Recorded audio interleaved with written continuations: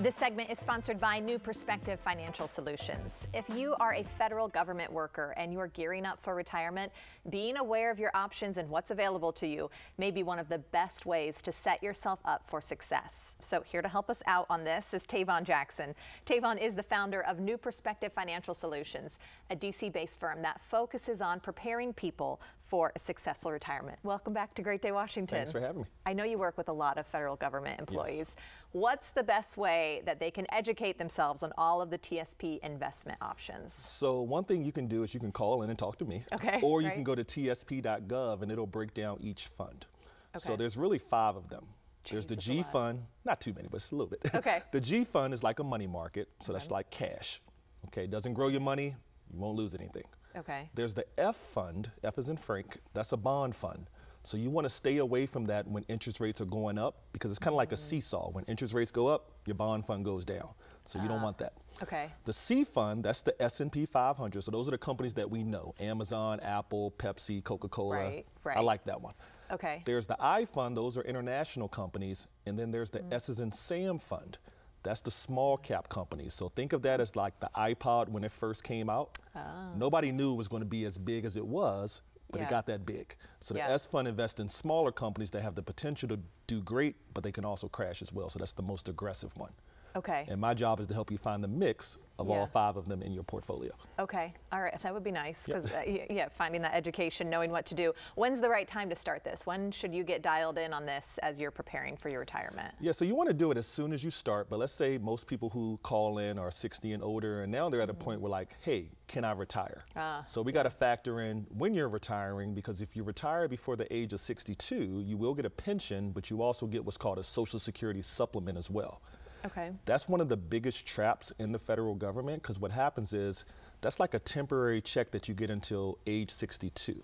But then when it goes away, guess what happens? Most people take their real Social Security too early, and then there's Yeah. a 30% cut, and then there's also a cap on how much money you can make from a job. So we try to help you avoid these traps, and that's something that you'll you'll see when you call it. Okay. I mm. know you probably get so many questions. Is there one that's repeated to you over and over, a very common question from the federal government employees that you work with? Sure, it's two questions. One, Okay. what do I do with my TSP once I retire? You do have an mm-hmm. option to leave it there, and that's probably your cheapest option. And also, you're used to it, you've had it in there for 30 years. Mm. But a lot of our clients roll it over into an IRA because we can actually get insurance on the money so that if it crashes, your money's mm-hmm. protected. And then the second question is, what do I do about my federal employee health benefits, which is the health Oh, insurance? okay. So once you turn 65, you're eligible for Medicare. But you also can keep your employee health benefits as well, and people don't know which one should I choose. Yeah. So I would tell you that hey, you want to keep your federal employee health benefits, get on Medicare Part A, which is the free version, and then we'll have a discussion if Part B is the right one for you. Okay. I know we always mention a bunch of different age numbers of Sure. you've mentioned a couple this time. Okay, so from a pension standpoint, can you break down the implications of the age you are when you retire? Yeah, so if you're under the old government system, if you did your 40 years, which is a long time, but you did your 40 years, you get about 80% of your income. The new government system is not as lucky. They get oh. about 30 to 40%. So the way you Okay. calculate it is you take your highest three years. So if you're making 100,000, 101, 102, you average that out. Let's say it's Okay. 100,000. Okay. Then you multiply it by your years of service. Let's say somebody worked 35 years. Yeah. And then you either multiply it by 1% or 1.1%, depending on if you're over 62 or under 62. That'll give you your gross pension, and then what's going to come out of that is your FEGLI, your federal employee health mm-hmm. benefits, taxes, but that number that you calculate, that's your gross before Uncle Sam touches it. Okay.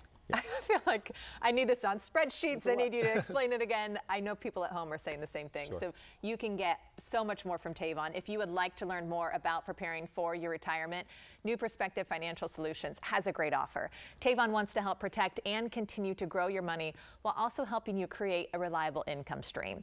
So right now, for the first five callers with a portfolio of $500,000 or greater, they're offering a complimentary uh, portfolio X-ray and retirement income plan just for you.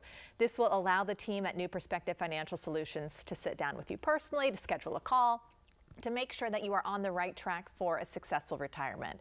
The number to call is 240-335-8366. Again, it's 240-335-8366.